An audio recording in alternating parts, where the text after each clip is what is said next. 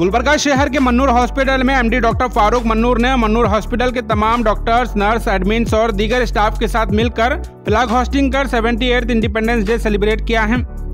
और साथ ही इस मौके पर doctor Farooq Mannur and team ने कोलकाता आरजी कार हॉस्पिटल में लेडी ट्रेनिंग डॉक्टर के साथ बेरहमी से रेप एंड मर्डर किए जाने पर टू मिनट साइलेंट प्रोटेस्ट कर अफसोस जताया है।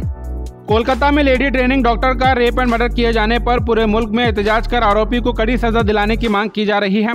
मनूर हॉस्पिटल से डॉक्टर फारूक मनूर और तमाम स्टाफ ने इंडिपेंडेंस डे के मौके पर फ्लैग होस्टिंग कर RG Kar hospital rape and murder के खिलाफ टू मिनट साइलेंस प्रोटेस्ट कर नाराज़गी ज़ाहिर की है।